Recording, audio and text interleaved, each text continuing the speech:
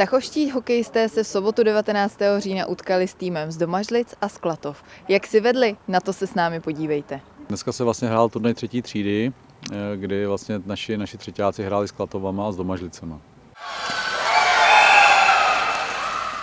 Hokejový klub v Tachově byl založen již v roce 2001 a dlouhodobě má všechny kategorie kdy vlastně dorosta juniorku máme v kooperaci s Mariánskými lázněmi, protože těch dětí nám troš, trošku ubývá, už chodí na střední školy, to znamená, už, už prostě se rozprchnou do světa, takže tam máme akorát ty kategorie spojené, jak vlastně máme kategorie všechny, vlastně co se týče od té základny do těch starších žáků devátý třídy.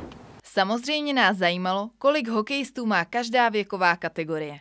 Tam už je to trošku složitější. My, my vlastně se snažíme, aby jsme v každé té kategorii měli aspoň 12-13 hráčů, což se nám vlastně poměrně v poslední době daří. Hokejový klub se přes rok účastní řady soutěží.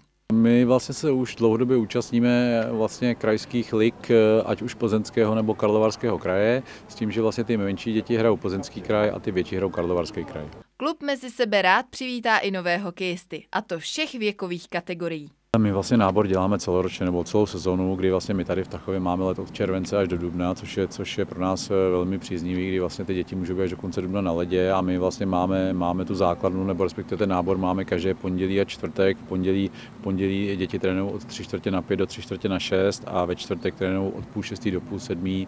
Ať už máte zájem naučit se bruslit nebo se přidat do týmu, jste v hokejovém klubu vítáni. Dokážeme už dneska vlastně i za podpory, podpory jako operace svazu vlastně těm začátečníkům vybavit je určitým výzbroj, to znamená, že pro ty rodiče to je v prvních chvílích nebo v těch prvních kručkách vlastně je to i ekonomicky zajímavý. Nicméně vrátíme se k dnešnímu zápasu. Jak si dnes naši vedli? Tak dneska jsme si vedli trošku hůř než minulý, minulý víkend. Minulý víkend vlastně jsme odstartovali soutěž druhých tříd, kdy naše druhé třídy e, porazili Sušici a porazili Domažlice. Dneska to bylo naopak, dneska jsme vlastně oba zápasy prohráli, ale, ale jsou to první zápasy a samozřejmě, samozřejmě někdo má tu základnu širší, jak jsme viděli Klatovi, někdo ji má uší, takže tam, tam vlastně na výsledky se ani nehraje, takže proto neuvádím výsledky, protože my to ani nepíšeme. Ty děti potřebují hrát, potřebují se zdokonalovat, ať už v tom tréninku nebo v tom zápase, takže pro nás ty výsledky nehrajou žádnou roli.